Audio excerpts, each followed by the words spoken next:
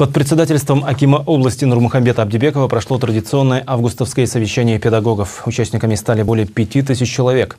О результатах прошлого учебного года, имеющихся проблемах и задачах на предстоящий период в нашем следующем сюжете.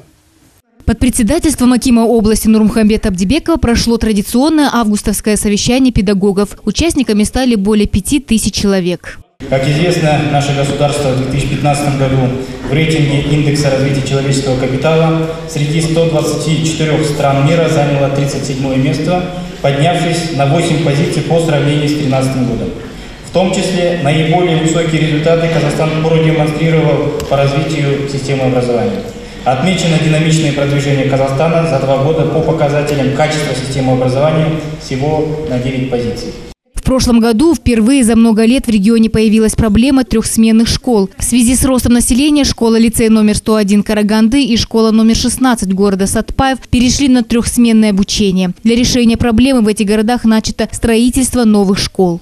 Несмотря на особый период в развитии экономики, в нашей области в прошлом году велось строительство шести детских садов, четыре из них уже введены в эксплуатацию. В целом охват дошкольным воспитанием выше республиканского показателя. Для улучшения качества образования проводилась также системная работа по обеспечению школ современной компьютерной техникой, интерактивным оборудованием и подключением к широкополосному интернету.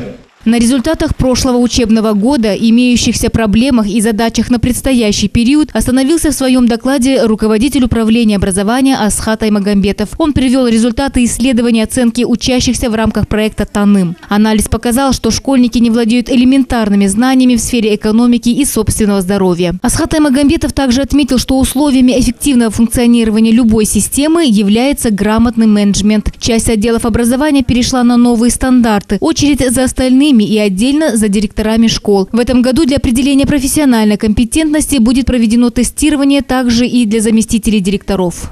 На сегодняшний день, к сожалению, директора в основном сосредоточены на решении хозяйственных вопросов. Вопросам содержания образования внимание уделяется мало или делегируется заместителям директоров по учебной работе.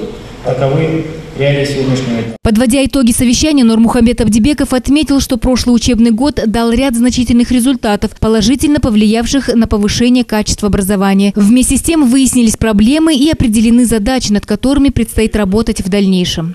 Батагос Батырбекова, Жанайдар Рахимжанов, Айдос Садыков, Пятый канал.